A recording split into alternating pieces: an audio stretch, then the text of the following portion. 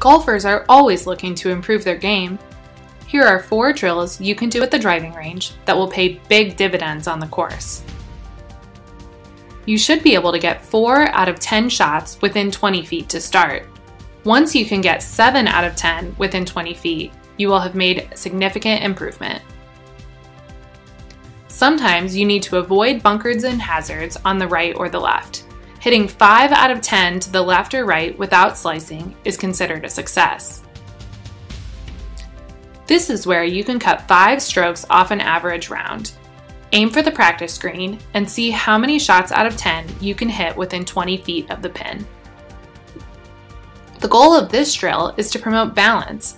If you can hit 5 shots solidly without losing your balance or missing, you have a smooth and repeatable swing. Get more golf tips at golflink.com.